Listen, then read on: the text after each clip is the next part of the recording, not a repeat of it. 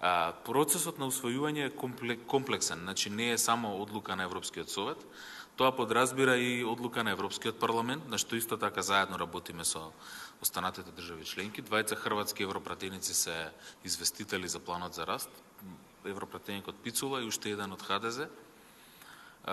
И се надевам дека набргу ќе ќе го достават нивното ќе нивното нивната резолуција за поддршка на планот за развој Европскиот парламент. Значи треба да го усвои Европскиот парламент, треба да се направи финансиска спогодба која што ќе биде и подпишана и ратификувана и потоа ќе можеме да сметаме да дека може да почне да се имплементира.